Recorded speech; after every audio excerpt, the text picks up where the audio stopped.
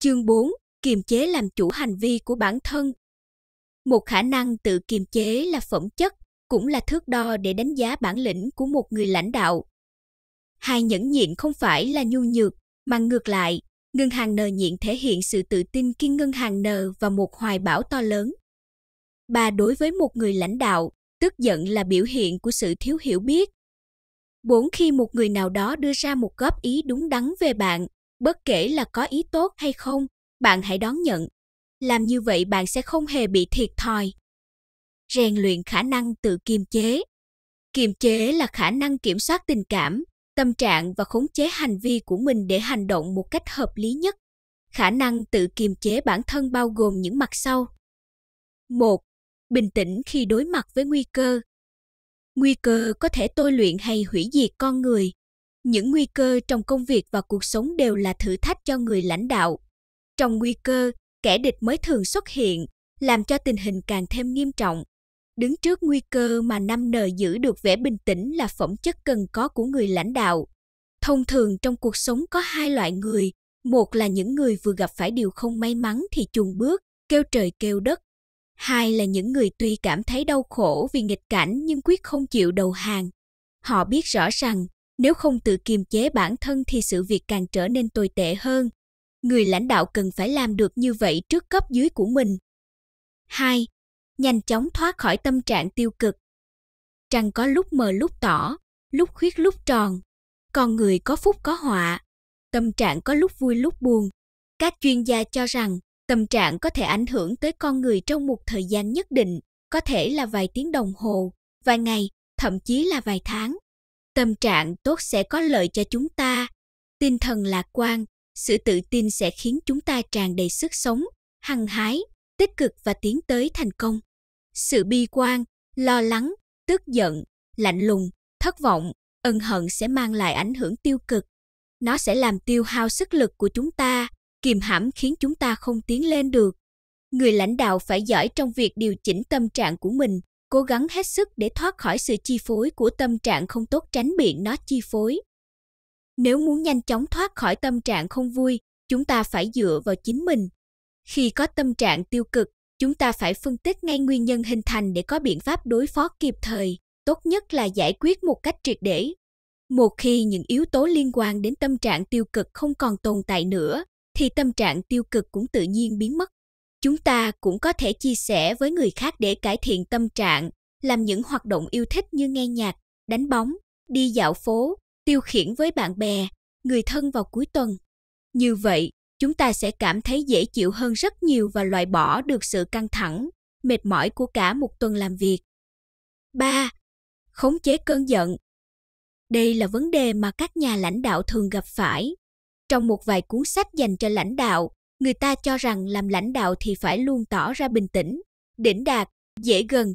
Sự tức giận không phù hợp với một người lãnh đạo và sẽ làm ảnh hưởng đến hình ảnh của họ. Tuy nhiên tức giận nhất thời là không đáng có nhưng sự bhn nộ vì lý do chính đáng thì phải có. Chúng ta không nên nổi nóng theo ý kiến chủ quan của riêng mình.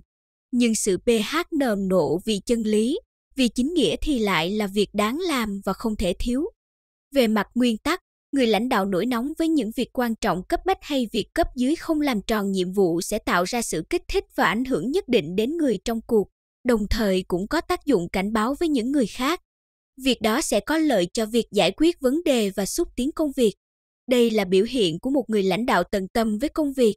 Việc thể hiện một phần tình cảm của mình cũng không thể coi là thiếu kiềm chế. Một người lãnh đạo không biết nổi nóng bao giờ, lúc nào cũng ôn tồn hòa nhã thì sẽ không thể trở thành một người lãnh đạo tốt. Phương pháp kiềm chế cơn giận có hiệu quả nhất là dự phòng tư tưởng, tức là phải có nhận thức về con người và sự việc xung quanh một cách rõ ràng, không ảo tưởng và hy vọng. Chỉ khi chúng ta loại bỏ được sự ảo tưởng và hy vọng, cơn giận mới không đến. Là một người lãnh đạo bạn phải hiểu rằng bạn không thể nào có được sự ủng hộ của tất cả mọi người. Sẽ luôn có người phản đối bạn. Cuộc sống là như vậy, công việc của chúng ta không phải lúc nào cũng suôn sẻ cũng có lúc sóng gió không được như mong muốn khi đã có sự chuẩn bị về mặt tư tưởng bạn có thể bình tĩnh đối phó với những sự việc ngoài ý muốn Khi ý thức được rằng mình sắp nổi nóng, bạn hãy cố gắng để trì hoãn cơn giận khoảng 15 giây, sau đó hãy nổi trận lôi đình. Lần sau khi bạn cáu giận thì hãy trì hoãn 30 giây. Những lần kéo dài thời gian như vậy sẽ giúp bạn kiềm chế bản thân tốt hơn. Dần dần bạn sẽ tránh được những lần nổi nóng không đáng có. Nhẫn nhịn để chu toàn việc lớn. Tào Tháo được gọi là giang hùng, nhưng ông lại rất khoan dung độ lượng. Thành công trong cuộc đời của Tào Tháo gắn liền với đức tính đó. Ông ngân hàng nợ nhịn để chu toàn việc lớn. Trước tiên xin kể về câu chuyện đánh trống mắng Tào. Lần ấy, Tào Tháo bị nể hành chửi rủa, xúc phạm. Trước thái độ hỗn xược đó, Tào Tháo vô cùng tức giận, nhưng vì nghĩ đến việc lớn, ông đành nuốt cơn giận vào trong. Nguyên nhân gây nên chuyện bất hòa giữa Nể Hành và Tào Tháo thực ra rất đơn giản.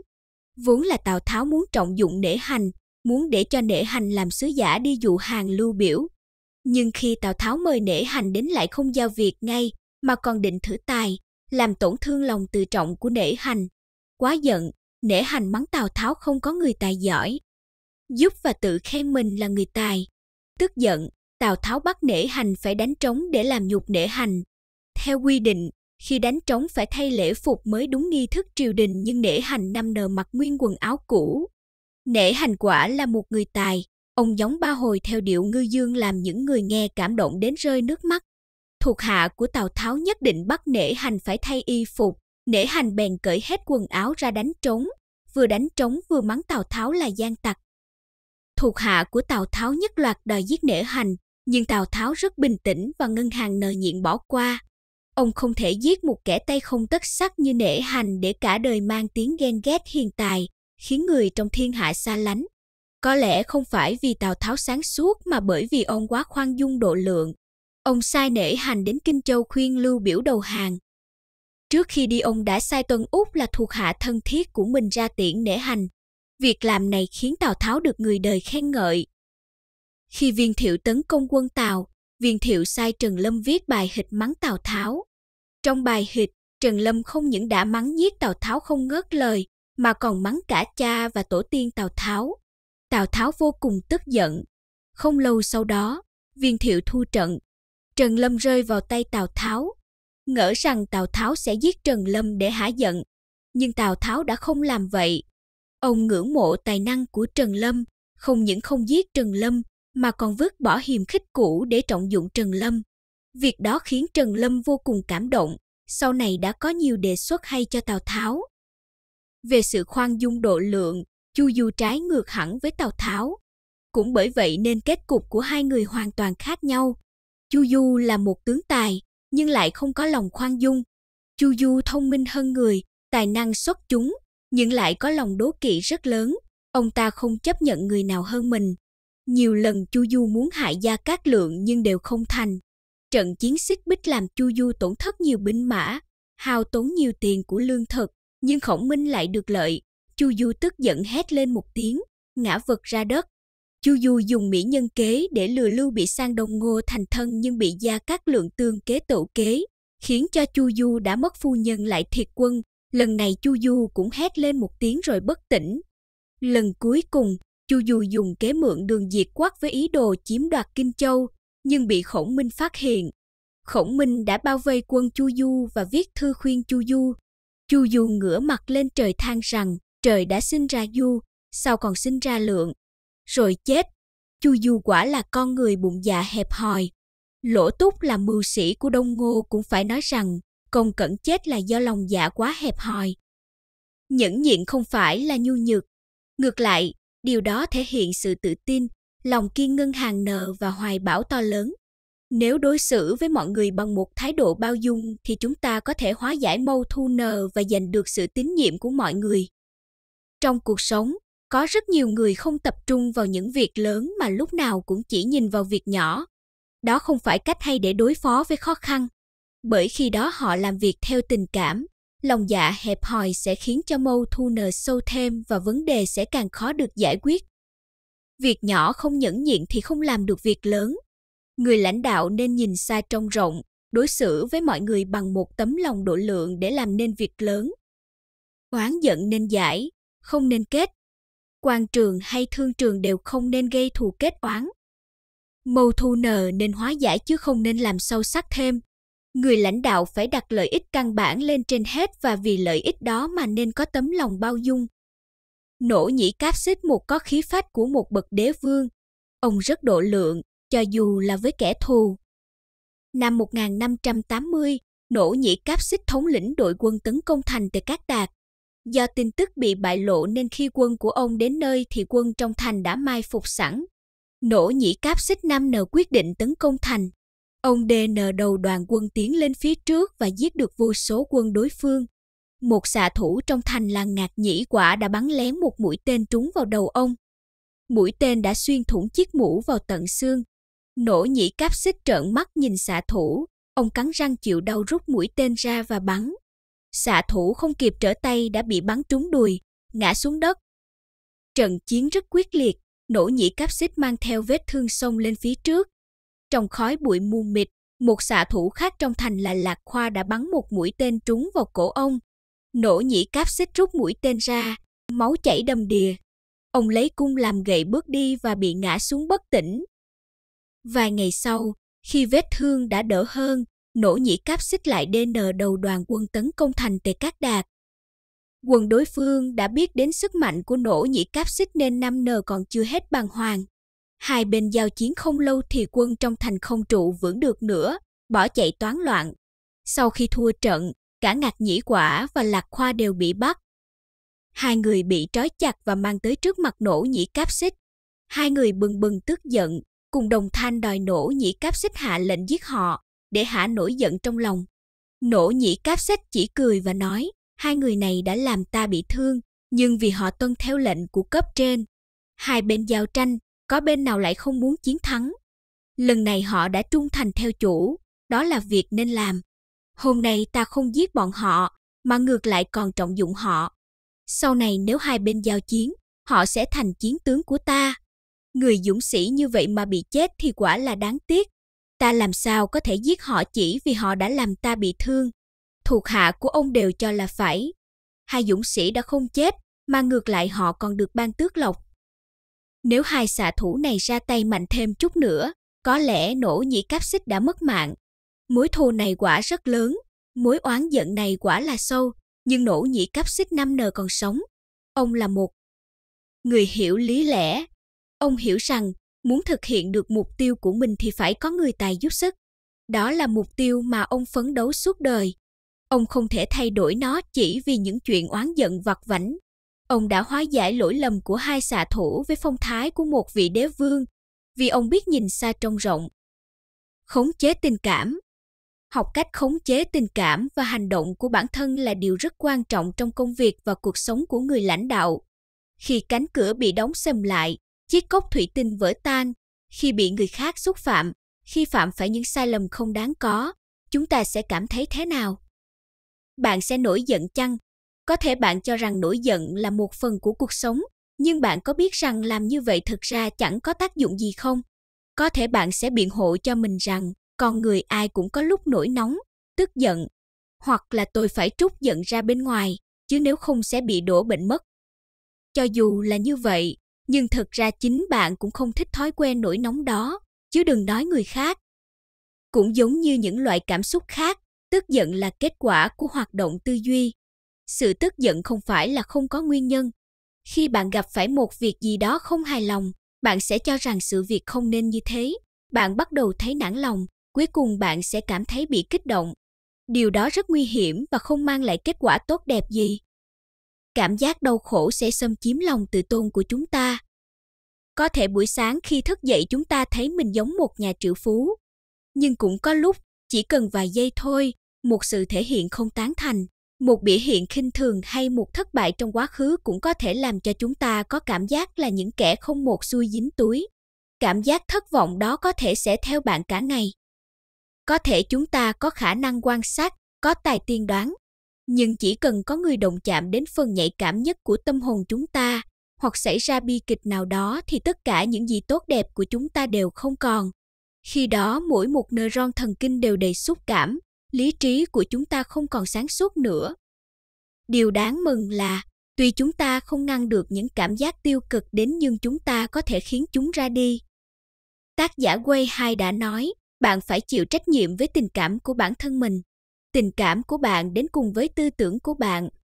Vậy thì, chỉ cần bạn muốn, bạn hoàn toàn có thể thay đổi cách nhìn đối với bất kỳ sự vật nào. Đầu tiên, bạn hãy nghĩ, tinh thần không vui, tâm trạng u uất hay bi quan đau khổ thì phỏng có ích gì. Sau đó, bạn có thể phân tích những tư tưởng gây ra cảm giác tiêu cực đó. Để nói rằng uống rượu sẽ có hại cho sức khỏe trước một đám đông nghiện rượu, người diễn thuyết bày hai chiếc bình đựng trong suốt giống nhau trên sân khấu, một bình đựng nước và một bình đựng rượu. Ông ta bỏ một con sâu vào trong một chiếc bình đựng nước, mọi người đều thấy con sâu bơi đến tận phía bên kia và bò lên thành bình. Ông lại cầm một con sâu khác và bỏ vào trong chiếc bình đựng đầy rượu. Con sâu chết từ từ. Sự tức giận và thất vọng cũng giống như rượu, nó có thể phá hỏng mối quan hệ của họ và người khác. Bởi vậy, trong quan hệ với mọi người, khi gặp phải chuyện không như muốn, người lãnh đạo cũng không nên dễ dàng biểu lộ ra ngoài. Khi đã để lộ ra rồi thì chắc chắn sẽ mang lại những điều bất lợi cho mối quan hệ của chúng ta. Phải khống chế tình cảm của mình là một việc khó khăn với hầu hết chúng ta nhưng đây là một yêu cầu vô cùng quan trọng với bất kỳ người lãnh đạo nào. Kiểm soát bản thân Người xưa có câu, cao quý không được kiêu ngạo, giàu có không được hoang phí. Khi địa vị và điều kiện kinh tế thay đổi, có người sẽ tự buông lỏng bản thân mình, kiêu ngạo tự mãn, hoang phí phô trương. Người lãnh đạo phải tự điều chỉnh mình, phải có cách nhìn đúng đắn với danh lợi và địa vị xã hội. Biết kiểm soát bản thân xuất phát từ việc hiểu về những giá trị mình đang có. Hiểu về người khác đã khó, hiểu về bản thân còn khó hơn nhiều. Người xưa thường nói, con người chúng ta thường chỉ nhìn rõ những vật ở xa chứ lại không nhìn thấy những vật ở gần.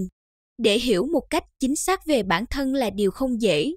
Khi tự đánh giá bản thân mình, chúng ta không khỏi mang tư tưởng chủ quan và đang xen tình cảm. Cũng giống như một số người cha, người mẹ không thấy được khuyết điểm của con cái mình. Nguyên nhân không phải do họ không đủ khả năng nhìn nhận, mà do tình yêu của họ với con cái đã làm lu mờ đi những khuyết điểm đó. Trong thực tiễn cuộc sống, khi mới bắt đầu đảm nhiệm chức vụ, người lãnh đạo thường rất thận trọng và có thể tự đánh giá bản thân. Nhưng sau một thời gian, khi đã có những đóng góp nhất định, được biểu dương, được tán thưởng, họ lại dần mất đi sự bình tĩnh, họ bắt đầu tưởng tượng. Khi đó những người xung quanh đều cảm nhận được là họ không còn thận trọng nữa. Lão Tử từng nói, biết người là trí, tự biết mình là sáng.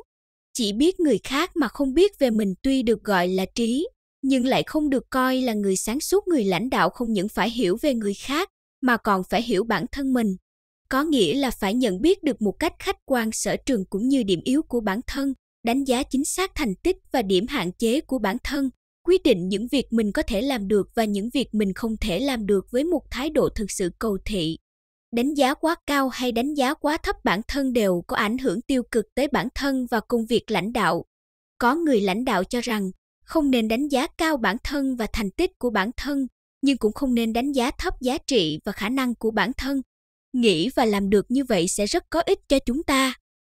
Tự cho mình là đúng, ước hiếp người khác. Khoa trương, tự đánh bóng mình luôn là người đầu tiên độc thoại trong cuộc họp hoặc giữa đám đông, không cho người khác nói, tự phong tỏa mình. Tất cả những việc đó là biểu hiện của việc không hiểu gì về bản thân. Để có thể hiểu và kiểm soát bản thân mình, chúng ta phải tự kiểm điểm bản thân, phải nghiêm khắc để phân tích ưu và nhược điểm của chính mình. Tự kiểm điểm vừa là cách để hoàn thiện bản thân, lại vừa là một đức tính chỉ có thể có được thông qua tu dưỡng rèn luyện. Khổng tử từng nói mỗi ngày ta tự kiểm điểm bản thân ba việc làm việc gì cho ai có hết lòng hay không giao ước điều gì với bạn bè có thất tín hay không thầy dạy ta những gì ta có chăm chú nghiên cứu cho nhuần nhuyễn hay không mao trạch đông từng nói chúng ta không nên vì đạt được thành tích mà tự mãn. Đừng tự mãn mà hãy luôn phê bình nhược điểm của mình. Cũng giống như vệ sinh, để loại bỏ bụi bặm, hàng ngày chúng ta phải lau chùi. Dimitrov Ba cũng từng nói, hãy dành thời gian để xem chúng ta đã làm được những gì trong ngày, việc đã làm được hay việc chưa làm được. Nếu là việc đã làm được thì rất tốt, nếu là việc chưa làm được thì hãy tìm cách để làm cho bằng được những người luôn cố gắng nhìn nhận lại mình là những người luôn suy nghĩ thấu đáo trong công việc và cuộc sống sẵn sàng kiểm điểm bản thân là biểu hiện của tính tự giác khi làm được như vậy chúng ta sẽ tiến bộ rất nhanh vì chúng ta có thể kịp thời tổng kết kinh nghiệm và rút ra bài học cho mình. Người xưa từng nói, người biết tự nhìn nhận đều sẽ trở thành tấm gương của chính mình khi gặp bất kỳ việc gì. Chỉ cần chúng ta tự kiểm điểm lại bản thân, bất kỳ sự việc gì cũng đều trở thành kinh nghiệm của chúng ta, trở thành tiêu chuẩn cho hành vi của chúng ta. Việc kiểm điểm bản thân này có thể từ ba khía cạnh sau. Một là kiểm điểm lại tư tưởng và biểu hiện của bản thân, bình tĩnh phân tích đúng sai được mất, xác định rõ phương hướng phấn đấu. Mỗi ngày trước khi đi ngủ chúng ta có thể viết nhật ký. Một nhà giáo dục lão thành đã nói, viết nhật ký là một việc nhỏ, nhưng viết lại những gì chúng ta đã làm trong ngày lại rất có ích để đề phòng những việc có thể xảy ra trong tương lai. Có nghĩa là kịp tỉnh ngộ trước khi gặp nguy hiểm. Nếu ngày nào chúng ta cũng viết, vô hình trung chúng ta đã tự kiểm điểm bản thân mình. Hai là xem xét đến biểu hiện và hình ảnh của mình từ phản ánh của những người và sự việc xung quanh. Mỗi người chúng ta đều có thể làm tấm gương của nhau, từ bản thân chúng ta có thể cho thấy hình ảnh của đối phương. Thái độ, sự đánh giá của người khác với chúng ta đều là điểm tham chiếu để chúng ta tự nhìn nhận lại mình. Những người muốn trở nên tốt hơn sẽ luôn thấy được sự thiếu sót của mình trong một tập thể, để tránh những sự việc tương tự xảy ra. Như thế là chúng ta đã tự soi mình vào chiếc gương tập thể để đánh giá mình thật khách quan. Đối với những lời tán thưởng, chúng ta phải xem xét cả hai mặt của vấn đề để phân biệt thật giả.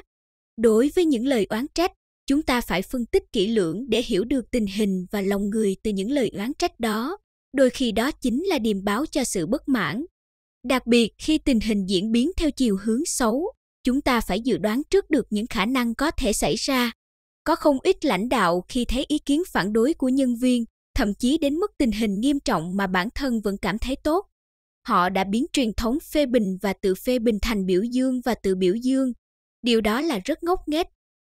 Ba là so sánh với mọi người để nhìn lại bản thân mình. Khổng tử nói rằng, khi gặp người hiền thì phải hiểu hết về tài năng của họ, khi gặp người ác thì phải từ họ mà nhìn nhận lại bản thân chúng ta sống trong một số mối quan hệ xã hội nhất định chỉ khi chúng ta so sánh bản thân với những thành viên khác chúng ta mới xác định được vị trí sở trường và nhược điểm của mình. So sánh mới tìm ra sự khác biệt, không có người khác làm đối tượng so sánh thì chúng ta không thể nhận thức chính xác về bản thân. Khi tự kiểm điểm bản thân, chúng ta cần mở rộng tầm nhìn để học tập những nhân vật điển hình trong lịch sử và trong cuộc sống hiện tại. Vì các ưu điểm đã được tập trung nơi họ, chúng ta học tập họ là cách đúng đắn nhất. Lãnh đạo phải là người đi tiên phong trong học tập. Kiềm chế sự tức giận trong cuộc sống có nhiều người không kiềm chế được bản thân, nhất là khi gặp phải việc ngoài ý muốn. Họ rất dễ tức giận và muốn giải quyết vấn đề bằng một cơn thịnh nộ. Trên thực tế, động một chút là tức giận không thể giải quyết vấn đề, thậm chí còn làm cho tình hình nghiêm trọng thêm. Đối với một người lãnh đạo từng trải, sự tức giận là biểu hiện của thiếu hiểu biết có một vị lãnh đạo đứng đầu một đảng phái chính trị khi hướng DN một ứng cử viên nghị sĩ quốc hội đã dạy người đó cách làm thế nào để có được nhiều phiếu ủng hộ.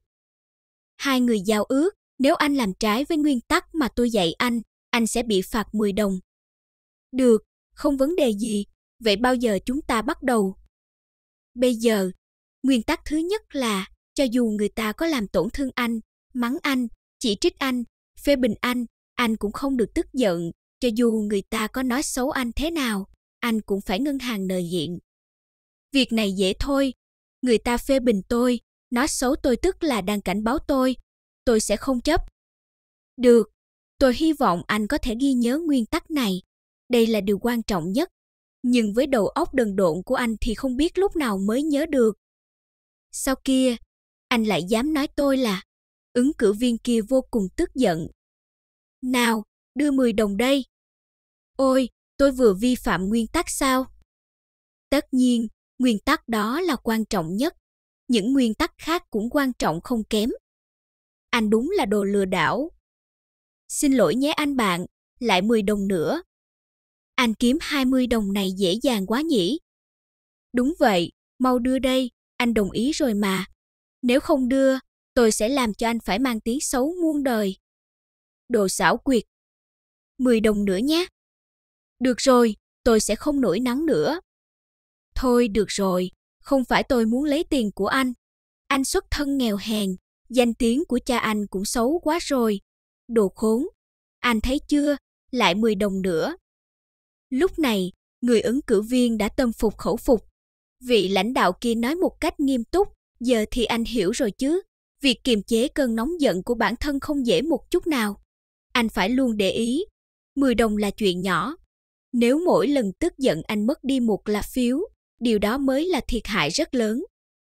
Người ứng cử viên gật đầu. Giống như Bacon 4 từng nói, tức giận giống như quả mìn, nó sẽ hủy hoại mọi thứ mà nó gặp. Nếu không chú ý rèn luyện sự ngân hàng nờ nhịn, tính tình ôn hòa, thì ngòi nổ sẽ làm mọi thứ nổ tung và hủy hoại mọi mối quan hệ tốt đẹp của chúng ta. Thế giới tự nhiên là một thể hữu cơ có trật tự, có quy luật. Chỉ cần theo đúng quỹ đạo thì mọi việc sẽ diễn ra bình thường. Cũng giống như một chiếc máy tính, một chiếc máy bay, một cỗ máy, nếu thao tác đúng, kiểm soát tốt thì chúng sẽ phát huy tác dụng. Tâm trạng của con người cũng giống như cỗ máy, một khi đã mất kiểm soát thì không thể hoạt động bình thường, thậm chí mang nguy hiểm đến cho thế giới xung quanh. Có lẽ chúng ta đã từng nhìn thấy tình trạng tắc nghẽn lộn xộn tại ngã tư khi đèn giao thông không hoạt động. Khi đó, ngã tư trở thành một biển xe.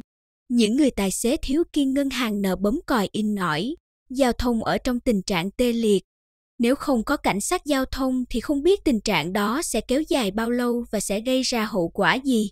Cũng tương tự như vậy, nếu cả một thế hệ mất kiểm soát tình cảm của bản thân thì thế giới này sẽ ra sao? Vì vậy, khi người khác phê bình hoặc chỉ trích khuyết điểm của bạn, khi bạn cãi nhau với bạn bè hay một lúc nào đó bạn cảm thấy cuộc sống quá căng thẳng, bạn hãy học cách kiểm soát sự tức giận, bình tĩnh, ngăn mọi lời nói không hay và hành động bộc phát. Người ta thường nói, ngân hàng nờ một chút, gió yên sóng lặng, lùi một bước, biển rộng trời cao. Bạn đừng so đo vì những chuyện cỏn con. Chúng ta không khuyến khích những sự nhượng bộ vô nguyên tắc, nhưng có những sự việc chúng ta không cần thiết phải đổ thêm dầu vào lửa. Vì làm như vậy chỉ khiến cho sự việc thêm tồi tệ và ảnh hưởng đến tình cảm giữa bạn và người khác. Khi bạn trút giận lên một ai đó, tất nhiên bạn sẽ cảm thấy thoải mái. Nhưng còn người đó thì sao? Người đó có thoải mái như bạn không? Sự cao giọng của bạn, thái độ thù địch của bạn có làm cho người ta dễ dàng đồng cảm với bạn hay không? Wilson Năm nói rằng, nếu anh đến tìm tôi với hai nắm đấm, tôi sẽ nghĩ cách đối phó với anh. Nhưng nếu anh đến tìm tôi và nói chúng ta hãy ngồi xuống bàn bạc với nhau, nếu ý kiến của chúng ta không thống nhất, hãy tìm hiểu xem nguyên nhân của nó là gì. Giữa tôi và anh không có sự khác biệt quá lớn, những ý kiến bất đồng của chúng ta rất ít, điểm tương đồng của chúng ta lại rất nhiều. Chỉ cần chúng ta kiên trì tiếp cận đối phương, chân thành và thật sự mong muốn, chúng ta hoàn toàn có thể hiểu nhau. Bình tĩnh khi bị phê bình. Khi bị một con chó dữ đuổi đằng sau, bạn sẽ làm gì? Bạn sợ nó nên ba chân bốn cẳng bỏ chạy. Không được đâu. Bạn càng chạy nhanh, nó càng đuổi theo sát bạn, có khi nó còn đuổi kịp bạn và cắn bạn, đến nỗi trầy da chảy máu và không chạy được nữa. Vậy trong tình huống đó, chúng ta nên làm gì? Những người có kinh nghiệm hẳn biết rằng phải đứng lại ngay, quay người lại và đối mặt với nó. Khi đó, con chó cũng sẽ dừng lại, đứng từ đằng sau quan sát bạn, không chừng nó còn vẫy đuôi, lè lưỡi, tỏ ý cho bạn thấy là nó nhận lầm người chứ không hề có ác ý gì với bạn. Lời phê bình của người khác cũng giống con chó dữ đó. Lúc đầu những lời phê bình sẽ công kích bạn để thử xem bạn có phải là người nhát gan muốn bỏ chạy hay không. Nếu bạn không để ý mà để lộ ra nhược điểm đó, càng chứng tỏ rằng bạn đã phạm sai lầm và sự phê bình sẽ ngày càng nặng nề hơn. Nhưng nếu khi bị phê bình, bạn đối mặt với vấn đề thì trong trường hợp bạn không phạm sai lầm, những lời phê bình đó sẽ lập tức biến mất. Cho dù bạn phạm sai lầm thì khi làm như vậy sẽ chứng tỏ bạn đã sẵn sàng để sửa sai và không vì điều đó mà dừng mọi việc lại. Campbell là một chính trị gia nổi tiếng người Mỹ. Lần đầu tiên khi phát biểu tại nghị viện, do ông vừa mới từ bang Illinois tới nên trang phục rất dân dã, một nghị sĩ lời lẽ sắc bén đã châm chọc vị khách từ Illinois đến này hẳn có đầy yến mạch trong túi áo. Tất cả mọi người đều cười âm lên. Nếu là một người khác chắc hẳn sẽ rất lúng túng, đỏ mặt, thậm chí là tức giận. Nhưng Kemba thì sao? Ông biết là nghị sĩ kia châm chọc không hề quá lời, bởi vì quần áo của ông quả thực rất quê mùa. Ông trả lời thẳng thắn, đúng vậy, không những túi áo tôi đầy yến mạch, mà trong tóc tôi còn vương đầy hạt giống. Những người sống ở miền Tây như chúng tôi đa số đều rất quê mùa, nhưng hạt giống của chúng tôi lại có thể ươm thành những mầm xanh. Câu nói ngắn gọn nhưng sắc bén của ông đã khiến ông trở nên nổi tiếng. Mọi người đặt cho ông biệt hiệu là nghị sĩ hạt giống bang Illinois. Kemper hiểu rõ về mình nên dám đối mặt với lời phê bình của người khác và đã công kích lại.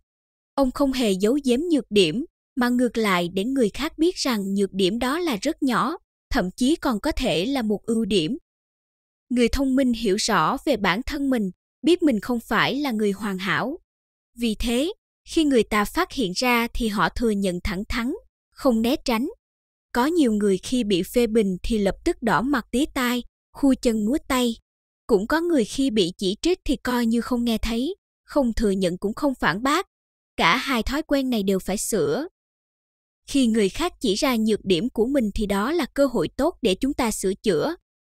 Nếu người khác phê bình bạn và đó quả thực là nhược điểm của bạn, thì bạn càng cần phải thừa nhận và sửa đổi. Làm như vậy bạn sẽ tránh được việc sau này người đó lấy việc đó ra làm cái cớ để công kích bạn. Có những lúc, lời chỉ trích của đối thủ còn tốt hơn nhiều so với lời tân bốc của bạn bè. Khi người ta chỉ trích bạn, người ta không có gì phải e dè và rất thẳng thắn. Nhưng bạn bè của bạn thì lại không tiện nói thẳng chỉ vì nghĩ đến thể diện của bạn. Khi chúng ta còn ít kinh nghiệm trên đường đời, thì lý trí luôn đi cùng chúng ta, đó chính là lòng tự trọng. Khi đối nhân xử thế, chúng ta phải để ý tới lòng tự trọng của người khác, nhưng bản thân chúng ta thì lại nên khắc phục nó bằng lý trí. Còn người ta ai cũng muốn được khen ngợi, được biểu dương, còn khi bị phê bình, bị nêu khuyết điểm thì lại nổi giận. Nếu luôn để ý đến điều đó, chúng ta sẽ tránh không làm tổn thương người khác. Nhưng đối với bản thân thì không nên có thái độ né tránh đó. Bạn phải hiểu rằng, khi đối phương đóng góp ý kiến đúng với bạn, thì cho dù họ có ý tốt hay không, bạn cũng nên đón nhận. Làm như vậy bạn sẽ không bị thiệt đâu. Hãy mở lòng. Chrysler là một trong ba công ty xe hơi lớn nhất của Mỹ, nhưng vào những năm 70 của thế kỷ 20 công ty luôn gặp khó khăn. Đến năm 1979, số lỗ của công ty đã lên tới 11,32 triệu đô la, các khoản nợ đã lên tới 4,8 tỷ đô la. Công ty đối mặt với nguy cơ phá sản. Ai có thể cứu vãn tình hình đây? Đúng lúc đó, tại một nơi khác thuộc Detroit, do mâu thu nợ với chủ tịch hội đồng quản trị công ty Ford, Henry Ford nên tổng giám đốc Iacocca bị sa thải. Dường như công ty Chrysler đã tìm thấy vị cứu tinh của mình. Họ quyết tâm mời bằng được Iacocca, một nhân tài trong lĩnh vực xe hơi, tới làm tổng giám đốc của công ty. Nhưng khi đó Iacocca đã rất nổi tiếng. Ai cũng biết tới bản lĩnh của ông, nên có vô số công ty muốn mời ông làm việc cho họ. Các công ty có tiềm lực như Lockheed, công ty phát thanh sát, công ty giấy quốc tế đều đưa ra điều kiện ưu đãi để có được Iacocca. Thế nhưng, công ty Chrysler quyết mời ông bằng mọi giá. Chủ tịch hội đồng quản trị của công ty Chrysler, Joe Ricardo, đã cử hai trợ lý uy tín của mình đi dò xét tình hình. Sau đó, ông đã gặp Iacocca nhiều lần và khẩn thiết đề nghị Iacocca đến làm việc cho công ty.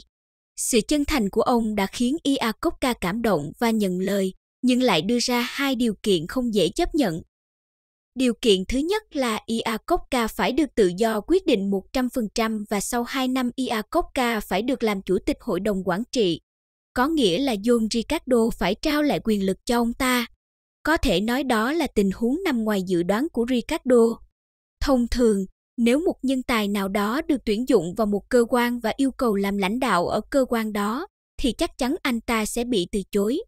Thậm chí nếu đó là Lưu Bị, người đã ba lần phải đến lều tranh mới mời được Gia Cát Lượng, thì ông cũng sẽ không đồng ý. Lưu Bị chỉ muốn Gia Cát Lượng giúp mình, chứ nếu là thay thế vị trí của mình thích hoàn toàn không thể được. Trước khi mất, Lưu Bị đã diễn kịch thành Bạch Đế gửi gắm con thơ. Nước mắt giàn dụa, Lưu Bị nói với Gia Cát Lượng, nếu A Đẩu có thể làm nên chuyện, tiên sinh hãy giúp nó. Nếu không, tiên sinh hãy tự xưng đế. Nghe xong, Gia Cát Lượng lòng đau như cắt, khóc như mưa, quy u dét trên đất mà nói rằng thần xin dốc hết sức mình, tận trung đến chết. Đó chính là điều mà Lưu Bị muốn nghe. Ông ta biết rõ A Đẩu là kẻ bất tài, còn Gia Cát Lượng lại là người chết vì tri kỷ. Ông nói vậy thì cho dù Gia Cát Lượng có ý định tự xưng đế, ông ta cũng sẽ không làm. Có thể thấy rằng, tuy Lưu Bị luôn nghe theo kế sách của Gia Cát Lượng nhưng cho đến khi chết, ông ta năm nờ không muốn nhường Giang Sơn lại cho Gia Cát Lượng. John Ricardo lại hơn hẳn người xưa về việc đối đãi với người tài. Khi nghe xong điều kiện thứ nhất của Iacocca, ông đã nói, chỉ cần ông tới, tôi sẽ đồng ý. Điều kiện thứ hai là lương mỗi năm của ông không được thấp hơn mức 360.000 đô la mà công ty Ford đã trả. Ông muốn Henry Ford thấy rằng ông không hề kém cỏi khi làm việc ở công ty khác. Điều kiện này có vẻ như đã làm khó cho John Ricardo. Vì với cương vị chủ tịch hội đồng quản trị như ông cũng chỉ được hưởng mức lương 340.000 đô la một năm. Nếu lương của tổng giám đốc nhiều hơn của chủ tịch hội đồng quản trị thì sẽ vi phạm quy định của công ty, cũng không phù hợp với cách làm của giới doanh nghiệp. Công ty Chrysler đã phải triệu tập đại hội cổ đông để bàn về vấn đề này và quyết định mức lương của chủ tịch hội đồng quản trị và tổng giám đốc đều ở mức 360.000 đô la. Khi cả hai điều kiện đều được đáp ứng, Iacocca đã đảm nhiệm chức tổng giám đốc công ty Chrysler và không phụ lòng mong đợi của mọi người. Iacocca nhanh chóng giúp Chrysler cải tử hoàn sinh. Năm 1982, công ty thu về 1,7 tỷ đô la tiền lãi, trả được món nợ ngắn hạn 1,3 tỷ đô la. Số tiền mặt có trong tay là 1,1 tỷ đô la. Năm 1983, Chrysler lại thu về 70,5 tỷ đô la tiền lãi, trả hết số nợ chính phủ trước thời hạn 7 năm. Những thành tích đó đã khiến Chrysler trở thành công ty danh tiếng lơ y lừng. Công ty đã thoát khỏi khó khăn, đó là nhờ có Iacocca. Nhưng công ty cũng không quên rằng họ được như vậy là do họ đã giành được Iacocca bằng mọi giá. Từ câu chuyện về công ty Chrysler, chúng ta thấy rằng một nhân tài khi được đặt ở đúng vị trí sẽ phát huy vai trò to lớn không gì sánh được. Chủ tịch hội đồng quản trị John Ricardo đã vì lợi ích của công ty mà không tính đến bản thân mình, ông mở rộng lòng để tuyển dụng nhân tài. Điều đó quả là đáng ca ngợi. Còn công ty Ford do hẹp hòi đã vô tình tạo ra một đối thủ mạnh cho chính mình và chịu tổn thất nặng nề. Những người có năng lực lớn hơn lãnh đạo rất khó dùng, nhưng chúng ta phải dùng họ. Người lãnh đạo phải loại bỏ tâm lý tiêu cực với những người hơn mình, phải dám dùng họ, khoan dung độ lượng, để con gà của người khác đẻ trứng cho mình. Không những chúng ta phải có chí tiến thủ, không ngừng hoàn thiện bản thân, mà còn phải dám thừa nhận tài năng của người khác, tận dụng tài năng của họ. Dùng tài năng của người khác, dùng sở trường của người khác, chúng ta mới có thể thành công. Cách nâng cao khả năng tự kiềm chế. Khả năng tự kiềm chế là khả năng khống chế và kiểm soát tình cảm của bản thân mình. Các nhà sinh lý học thần kinh nói rằng tư duy lý tính và hành vi tình cảm có sự phân công rõ ràng trong bộ não của chúng ta. Hành vi của con người vừa bị lý tính chỉ đạo, vừa bị ảnh hưởng bởi thái độ tình cảm hiện tại. Ảnh hưởng đó có loại tốt, loại xấu, có loại mạnh, loại yếu. Nếu không có khả năng tự kiềm chế mà làm việc tự do theo tình cảm, chúng ta sẽ không thể kiểm soát hành vi của mình. Chỉ khi nâng cao khả năng tự kiềm chế, chúng ta mới có thể buộc mình phải làm theo những quyết định của bản thân ngăn cản những yếu tố tiêu cực như lo sợ, lười biếng, cưỡng chế tình cảm để có thể kiên ngân hàng nợ và kiểm soát chính mình. Tự kiềm chế bản thân cũng có tác dụng quan trọng đối với việc tăng sức khỏe tâm lý và sinh lý. Những người không thể kiềm chế tình cảm và kiểm soát hành vi của mình sẽ không thể có được một cơ thể và tâm lý khỏe mạnh. Có 6 cách để nâng cao khả năng tự kiềm chế bản thân. 1. Chuyển sự chú ý. Khi bị kích động, hãy nghĩ hoặc làm một việc khác. Đại văn hào Nga Tuganev 6 khuyên mọi người trước khi cãi nhau hãy uống lưỡi 10 lần trong miệng. 2. Ám thị Lâm tắt từ 7 treo chữ không móng giận, Tô Thức Tám lại tự khuyên mình bằng câu ngân hàng nợ nhịn chuyện nhỏ để làm việc lớn. Làm như vậy chúng ta sẽ giữ được tâm hồn thư thái. 3. Tránh bị kích động. Khi gặp việc nào đó có thể làm chúng ta mất khả năng kiềm chế, hãy cố gắng hết sức để né tránh. Ví dụ khi có người nói những lời xúc phạm thì đừng lắng tai nghe mà hãy đi ra ngoài. Như thế bạn sẽ tránh được sự BHN nổ và xung đột. 4. Giải tỏa tâm trạng một cách hợp lý. Khi tâm trạng không tốt, bạn có thể nghe nhạc hoặc vẽ để giải tỏa tâm trạng của mình. 5. Tích cực bù đắp.